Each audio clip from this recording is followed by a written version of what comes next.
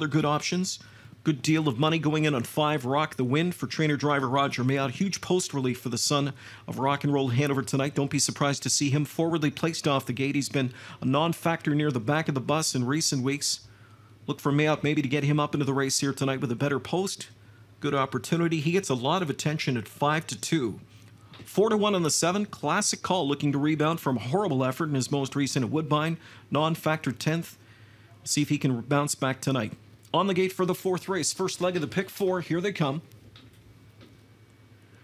They're off and pacing in a good beginning at the rail for Fire on the Water. Down the center, as expected, comes Rock the Wind with a release speed tonight. Mayotte rolling Rock the Wind off the gate fast. Fire on the Water from the inside, stepping out with them. Far outside, checking the box, driving up into third now. In at the rail, Battle Call to be along from in fourth. Racing off the speed outside from in fifth as they go to the turn is Classic Call. Field is on its way to the quarter pole, and it's Fire on the Water on the lead. Dropping into the pocket spot is Rock the Wind. Wapel shut the door. He's in that pocket spot there, third with Battle Call. So backing up to a four hole while it's still there is checking the box. First panel was 26 and 2 fifths seconds.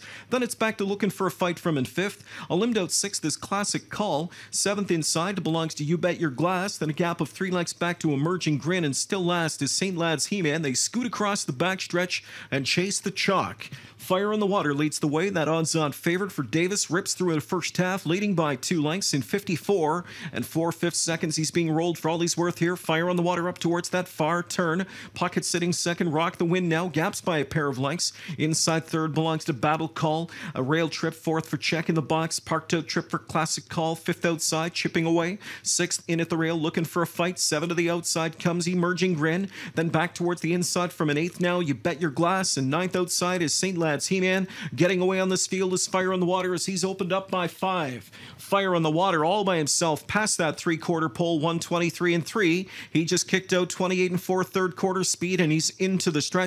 Fire on the Water is opened up now by eight lengths. Fully extended back in second. Rock the Wind off the rail third. Battle Call. He's in a race for place, it appears. Fire on the Water is still there. He's got a six length lead with a 16th of a mile of racetrack to cover. Snap of the wheel disc here for Fire on the Water. He's still there by three. Closing up late is Rock the Wind. Fire on the Water to win this one by two lengths over Rock the Wind, was second. Tight for show. Either you bet your glass or outside Battle Call 154 in tonight's fourth race.